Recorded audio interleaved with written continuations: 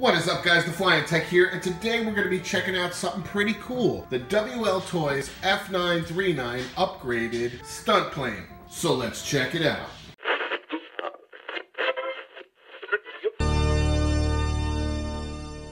Alright guys, here's everything that comes in the box, as you can see.